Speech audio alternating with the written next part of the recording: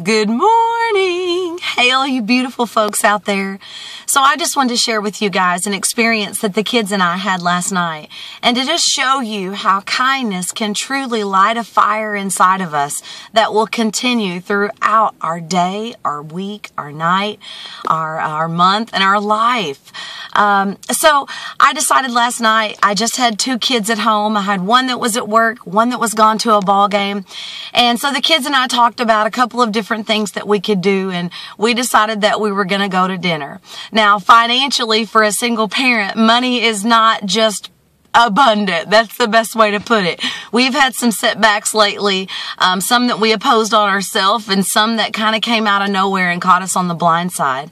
And so it's not like we go out to eat every single night. There was a time when we used to be very, very, um, irresponsible with our money and we would spend it on things that we didn't necessarily need, like eating out often.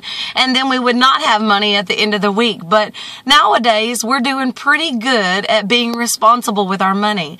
But every so often as a single mom, you want to be able to just take your kids out and not have to have to uh, order off the dollar menu. Okay. So this night we decided that we were going to go to a place that has our absolute favorite wings.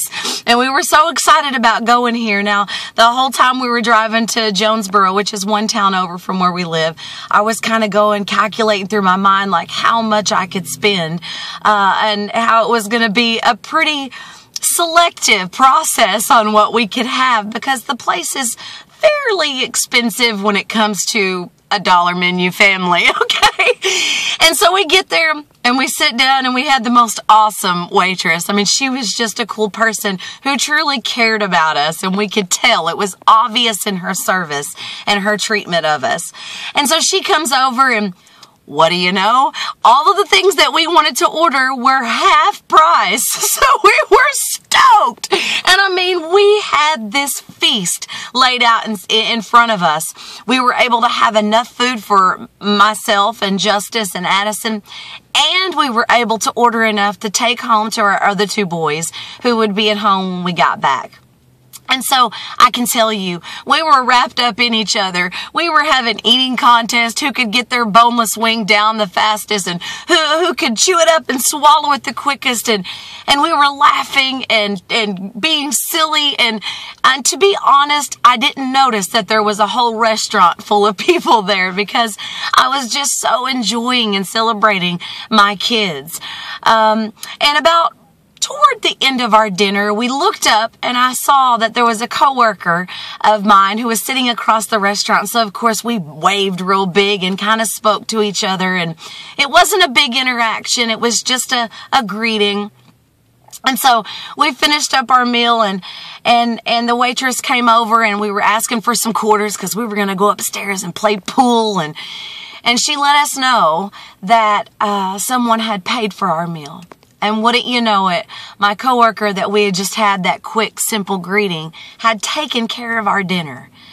Now I can tell you that it wasn't a hundred bucks.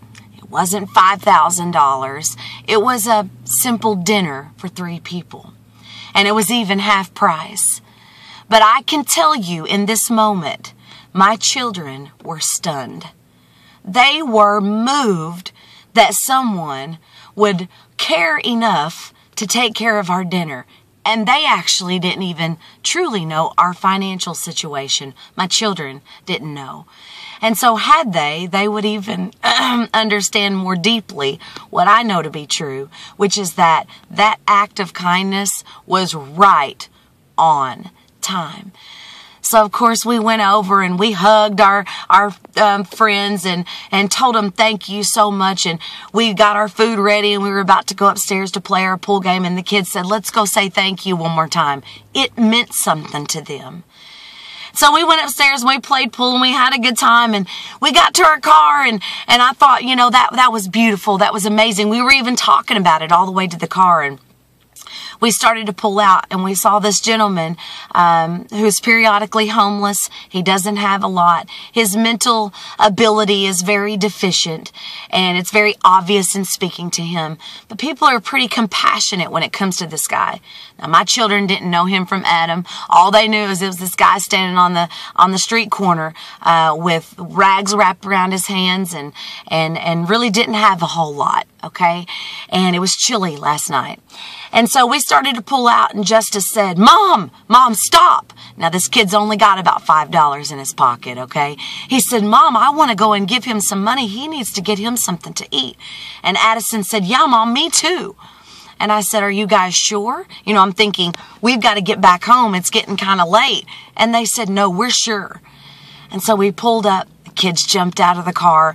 They ran over there and they gave him uh, some of their money, a pretty significant chunk of their money, not expecting a single thing in return. We left all the way home. Those kids wanted to talk about that man and how he got to that place in his life. It was important for them to understand his story. And I praised them and told them how proud I was of them. And, and my son says, uh, Mom, it was pretty simple.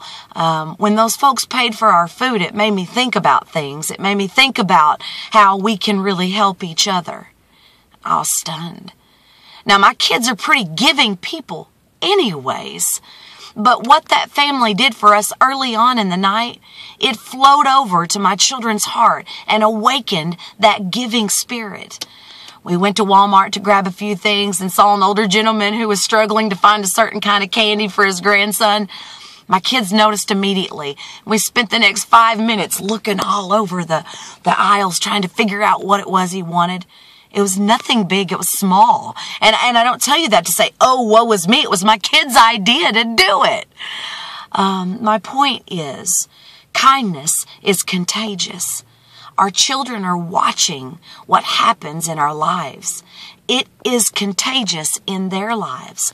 What that family did for us, it may have not even been significant for them.